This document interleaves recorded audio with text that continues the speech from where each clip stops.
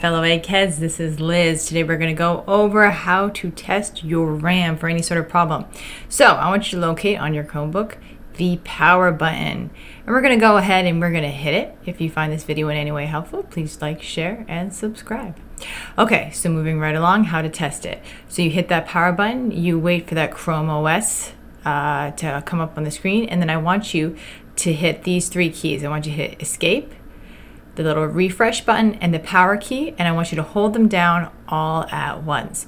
What will happen once you do this is your screen will flicker and kind of restart again and that's what we're looking for.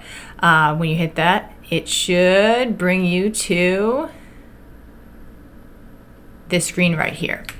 Uh, and so once we're here, we're going to look for launch diagnostics. Uh, now this is not, not all Chromebooks have this feature but many of them do. I'm going to use the arrow keys and I'm going to go down to launch diagnostics and hit enter. Now with the arrow keys on my keyboard, I'm going to hit down until I get to memory check quick and hit enter and it will immediately start the diagnostic.